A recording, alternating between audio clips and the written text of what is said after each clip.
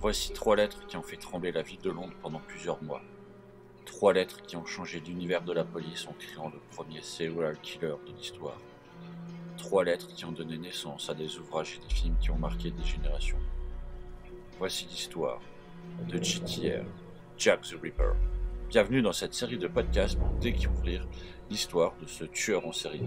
N'hésitez pas à liker, commenter, partager et à nous suivre. On se retrouve pour une nouvelle aventure.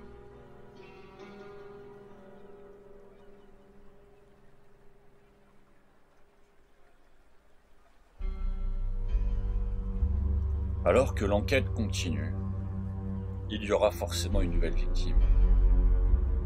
Et malheureusement, cette nouvelle victime fut Annie Chapman. Annie Chapman était née Annie Eliza Smith en septembre 1841. Son père, George Smith, était surveillant du deuxième bataillon privé. Au moment de sa mort, il était considéré comme serviteur. Sa mère était Ruth Chapman. Les parents d'Annie se sont mariés le 22 février 1842 à Paddington, six mois après la naissance d'Annie. Ils eurent cinq enfants, quatre filles, Annie, Emily, Latitia et Georgina, et Miriam Ruth, un garçon né en 1861. Annie ne s'entendait pas avec ses sœurs. À sa mort, Annie Chapman avait 47 ans, le teint pâle, des yeux bleus, des cheveux ondulés brun foncé, des dents excellentes, le nez épais. Elle était sous-alimentée souffrant d'une maladie chronique des poumons et du tissu cérébral. Elle était mourante et portait de surcroît les symptômes de la syphilis. Elle buvait beaucoup, mais n'était pas décrite comme alcoolique. Son amie, Amelia Palmer, l'a décrite comme sobre, stable, une femme qui prenait rarement n'importe quelle boisson. Annie Chapman s'était mariée à l'âge de 28 ans, le 1er mai 1869, avec John Chapman. Ils habitaient au 29 place Montpellier, à Brampton. C'est là que sa mère a vécu jusqu'à sa mort, en 1893. Le couple eut trois enfants. Emily Ruth en 1870, Annie Georgina en 1873 et John Alfred en 1880. John était un estropié et Emily Ruth est morte de la méningite à l'âge de 12 ans. Annie et John Chapman se sont séparés par consentement mutuel en 1884. La raison est incertaine, un rapport de police dit qu'elle était fautive, dévoisive et immorale. Elle a été arrêtée plusieurs fois à Windsor pour un état d'ivresse et on pense que son mari était aussi un grand buveur.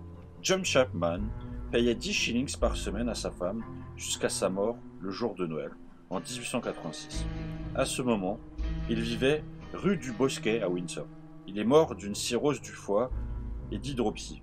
Annie Chapman a appris sa mort par son beau-frère qui a vécu rue d'Oxford à Whitechapel. Amelia Palmer disait Même deux ans plus tard, elle a semblé abattue en parlant de ses enfants et comment, depuis la mort de son mari, elle semblait avoir tout donné. En 1886, elle vivait avec un fabricant de passoires nommé John Sivet à l'hospice, 30 rue d'Orsay à Spitalfield. Il a quitté après la mort de son mari, probablement quand l'argent a cessé de venir. En mai ou juin 1888, Annie vivait à la pension de Crossingham, 35 rue d'Orsay à Spitalfield, qui a une capacité d'environ 300 personnes. Le responsable était Timothy Donovan. Plus récemment, Annie avait eu une relation avec Stanley Edward, un maçon qui avait connu comme poissonnière. Au moment de la mort d'Annie, il vivait au 1 place d'Osborne à Whitechapel. Il a été déclaré être un militaire, mais admis plus tard le contraire. Stanley et Annie ont passé des week-ends ensemble à Crossingham. Stanley a chargé Donovan d'interdire Annie d'essayer d'entrer avec un autre homme. Il payait souvent le lit d'Annie, aussi bien que celui d'Elisa Cooper. Ils ont passé le samedi et le dimanche ensemble et se sont séparés entre 1h et 3h du matin. Stanley a dit qu'il avait connu Annie à Windsor. Annie ne s'est mise à la prostitution qu'à la mort de son mari. Fin des frais de la location. Elle travaillait comme vendeuse de fleurs. Elle avait donc besoin d'argent.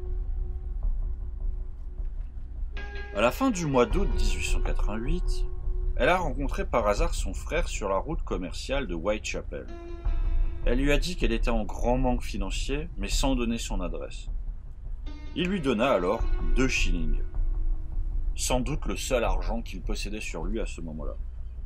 Le samedi 1er septembre 1888, Edward Stanley rencontre Annie au coin de la rue Brushfield. Annie Chapman avait une dispute avec Eliza Cooper. Tous les récits sur cette querelle tournent autour d'Edward Stanley. Cette dispute a débuté dans le pub Britannia, la tonnelière, E. Cooper, du bar M. Stanley frappe Annie. Résultat, un œil au beurre noir et une contusion au sein pour Annie. Elisa Cooper dit qu'elle a frappé Annie dans un rapport du 2 septembre 1888. Amelia Palmer rapporte qu'Annie Chapman lui a dit que l'altercation a lieu au pub mais que la bagarre s'est déroulée à la pension plus tard. John Evans, le gardien nuit de la pension, explique lui que la, la bagarre a éclaté dans la pension le 6 septembre. On peut donc se poser des questions pour savoir qui dit la vérité, avec tous ces imbroglios au niveau des dates. Elisa Cooper dit que la querelle ne portait pas sur un homme, mais à propos du savon qu'Annie lui avait emprunté pour son ami et qu'elle ne lui avait pas rendu. Dans une autre version de l'histoire, Annie Chapman aurait jeté une moitié de penny au visage d'Elisa Cooper et lui aurait giflé en disant Si tu penses être plus encheuse que moi, je n'ai pas fait plus. Donovan déclare que le 30 août, il a remarqué qu'Annie avait un œil au beurre noir. Elle lui aurait dit d'ailleurs Tim, c'est beau ça, hein? On voit donc une histoire un peu abracadabantesque entre elle et Elisa Cooper. Cela pourrait donc expliquer les marques qu'elle avait sur son visage quand on l'a retrouvée le jour de sa mort. Vous avez écouté Again the Reaper, notre podcast sur Jack the Ripper. Nous nous retrouvons dans un prochain épisode pour en apprendre plus sur Annie Chapman et comment elle est morte. N'hésitez pas à liker, commenter, partager et à nous suivre sur YouTube. Merci à vous.